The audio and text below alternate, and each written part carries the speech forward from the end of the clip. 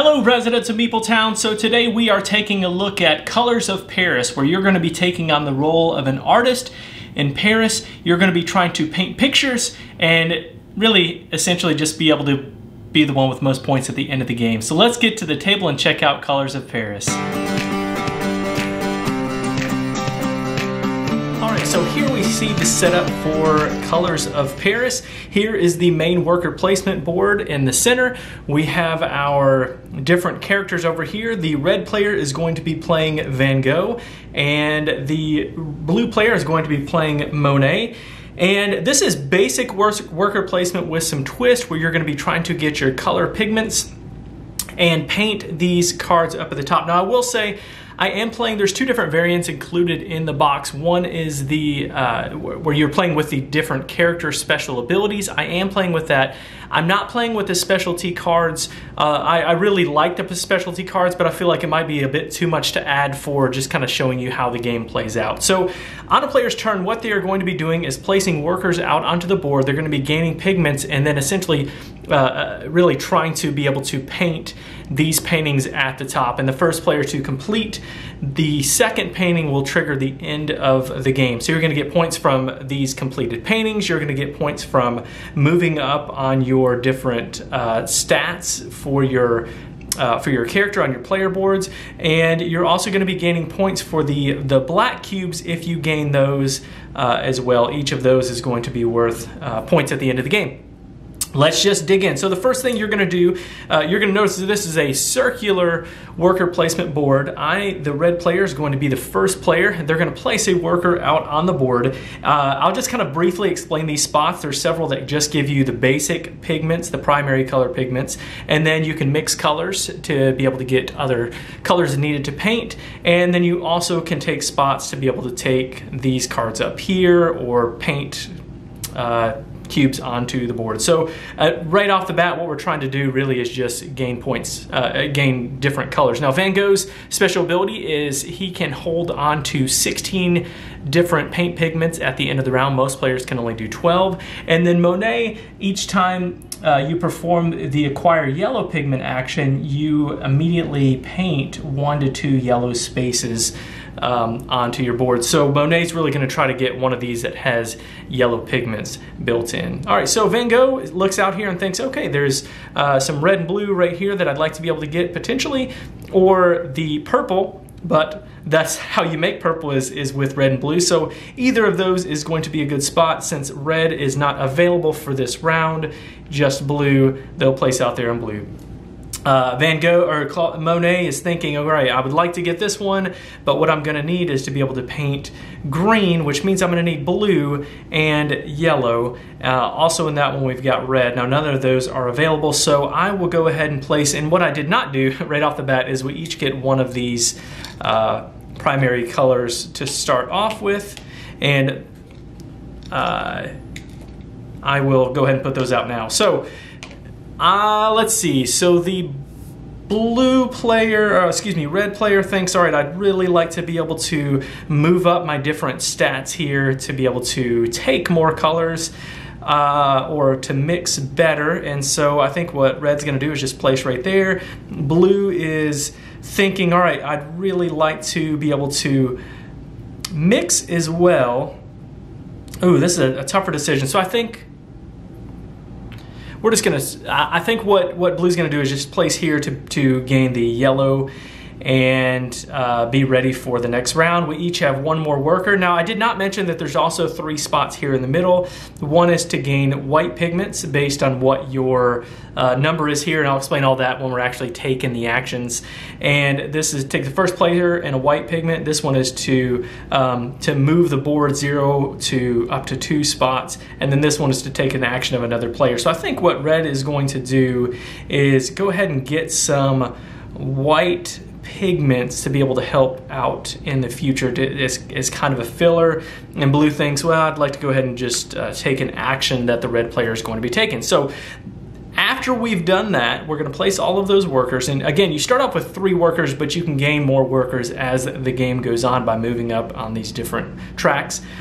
And you're going to, one by one, starting with the first player, take the action of one of your workers. So red says, all right, I'd really like to be able to, let's say, gain blue. And so uh, they'll lay their worker down here and they'll take blue pigments based on whatever that top row is. So in this case, they can take three, but as they improve on that track, they'll be able to take more and more of those pigments. Blue would like to go ahead and just take this action right here because what this one does is it will allow the player to take the action of um, a standing up worker. And since uh, they don't want to wait too long to do that, they're going to go ahead and do that now. So they're going to take the action of, now they can do that of any worker that's standing up. And so they will take the action of the red player, which is um, going to cost two pigments uh, of any color to be able to move up on this mixing track, which means that they'll, when they mix, they'll mix and get three instead of two. So they lay that one down. I'm sorry, they're not supposed to lay that worker down. They're supposed to take the worker of that one, so they'll pay two pigments of any color. They're gonna get yellow, so they don't mind getting rid of that. They need blue, so they're gonna hold on to that. So they'll pay a red and a yellow and move up on this track. So now when they mix, they'll gain three. Now the red player is gonna go ahead and take their next action, which is going to be to do the exact same thing that the blue player had just done. And that is to pay two. And anytime you're moving up on the track, it's going to cost you two of any color pigment. And to move up on this track, and they'll pay blue since that's what they have a lot of right now. And let's see, so blue player is going to just go ahead and take their yellow. They'll take three yellow pigments and it'll go here onto their board. And then the red is going to take their white pigments. And white pigments are just kind of filler for uh, their paintings um, they're able to, to paint with uh, white pigments on there, but when they do that, it's actually going to um, subtract points from that total. So I'm just gonna put these, let's see, I'll just put these right here. Remember, you can only hold on to 14. Right now, it's not gonna be a problem.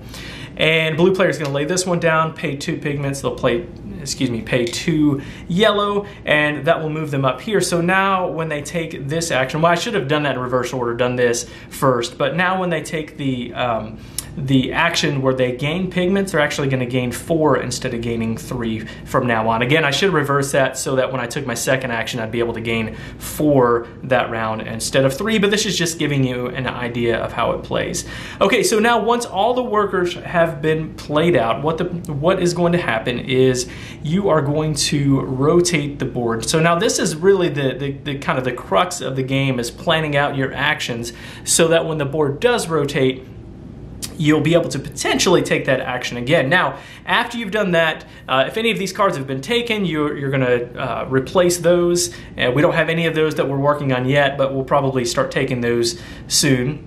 And now that that's rotated, the players are going to leave one of their workers out on the board. And that's why planning is so important in this game because when you uh, are in a spot, you want to think ahead. Uh, I want to gain the benefit this time, but can I but also leave my worker there this round to gain that action for the next round? And so red is going to, they'd like to gain a painting, or they actually would like to paint, but they're not going to be able to do that. So I think what red is going to do is leave, and it has to be one of these spots on the outside. They're going to leave this here to gain that yellow, and then they're going to take their other workers back. And then blue says, oh, I'd like to gain a painting, but I'd also like to be able to get the red. Now, there's only one spot, and this is a, a two player game. Some of these spots are, are open for a uh, three and four uh, player game. And then, uh, you know, for more than two players. And then they'll take their other workers. Now, I would like to leave a worker here to be able to gain that, uh, to gain a painting card, but there's two spots here, so I don't really need to do that.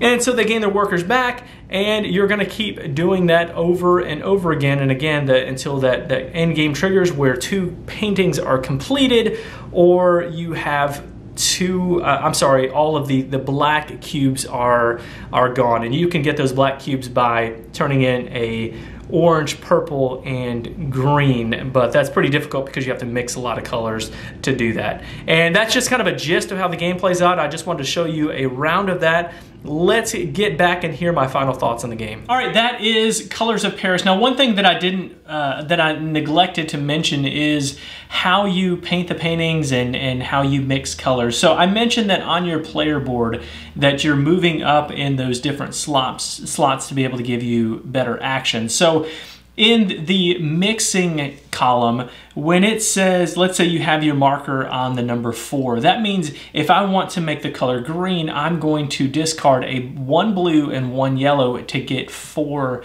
greens. That's how that slot works. And then when you want to paint, that's the last track on there.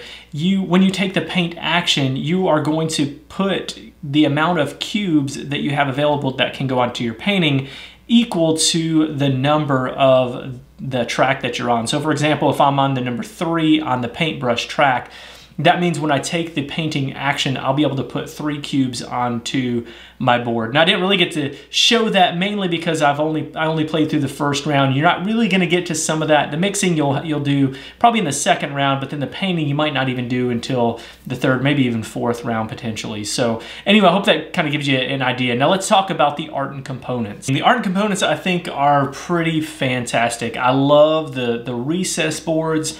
I think that the uh, the, the plastic cubes are. Uh, usually, I like wooden cubes better. I think the plastic ones work just aesthetically better in this one. Uh, I think the art in the cards is is great, and uh, overall, I think it's I think it's really well done. I also really enjoyed the, the, the custom meeples they have, the little painter meeples for all the different players. So uh, overall, I like it. Now, one thing I will say is I wish that they would have had some female artists in this game uh, to change it up a little bit. It's it's all it's all guys as the artist, and I feel like probably thematically it would have been fine just to put some some non non males in the game. But anyway, it, it is what it is. But I think overall art and components and and all of that works really well. Now the gameplay itself.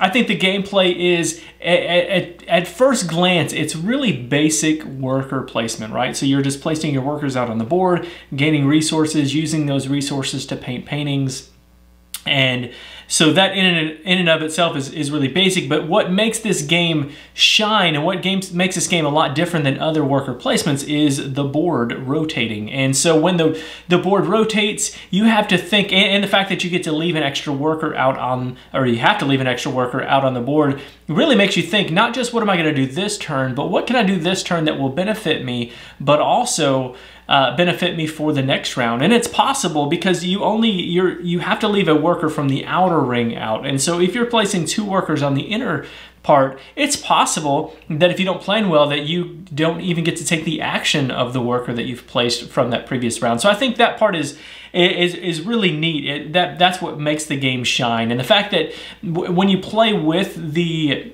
uh, the other elements, so when you play with the the artist and their special abilities that they have on their cards, and using the specialist cards. I think that's really the way that you're going to want to go. Now, if you're if you're not if you're really new to game, I think just the base game actually works really well as a as an introductory worker placement game uh, and really as a gateway game in general, specifically for somebody who really is drawn to this theme, somebody who really enjoys um, the, the, the art theme that surrounds this game. And then when you add in those extra pieces, it becomes this next step game. And I think that's really cool how they do that. And so I think it's a great game to introduce people to. Now, it's not it's not necessarily going to blow you away as being like the most amazing worker placement game of all time. However, what it will do is probably, like I said, draw those people in who are artists and, and people who are really drawn to this theme. And, and that element of the way the board plays out is pretty cool. And so that, that could be something that really draws you in as well. So for me, um, it, I think it's a fun game. I'm going to give this one a 7 out of 10, which is a game that I will, uh, I'll enjoy playing. If you ask me to play this game, I will play it and, and for sure not have an issue, but it's just not a game that I'm going to want to play all the time because the variability is not quite, uh, it, it's not quite there. So anyway, I, a 7, that's a great score. I think it's a, it's a really good game. And uh, that's it. That's it for Colors of Paris. 7 out of 10 for me. Thanks for coming down to Meepletown. Thanks for joining us, and be sure to follow us on Twitter at Meepletown Games and connect with us on the Meepletown Guild, Guild number 3407, at BoardGameGeek.com, and also subscribe to our podcast and YouTube channel. And until next time, thanks for coming down to Meepletown.